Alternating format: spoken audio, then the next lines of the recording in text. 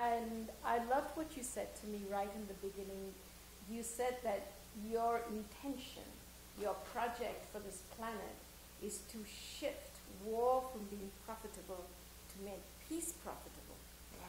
And that was really out of the conversation you had with me about what are the systems that underlie war. Like, why do we have war? And when I started thinking from a systemic point of view, which is a lot of the work that we do at United Global Shift, is having people go beyond the band aid solutions to actually get to what is the systemic cause of those circumstances.